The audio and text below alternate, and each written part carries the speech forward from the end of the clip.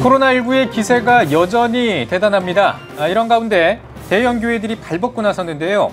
여의도 순복음교회와 사랑의 교회, 광림교회가 코로나19 경증 환자를 위해 자체 시설을 제공하기로 했습니다. 대한예수교장로회 백석총회가 코로나19로 어려움을 겪는 이들을 위해 지원에 나섰습니다. 마스크를 포함한 생필품을 상자에 담아 전하는 나눔 사역 현장을 찾아가 보겠습니다. 코로나19 확진자가 계속해서 증가하고 있습니다. 코로나19의 최대 피해 지역인 대구 지역 기독교계 소식을 준비했습니다.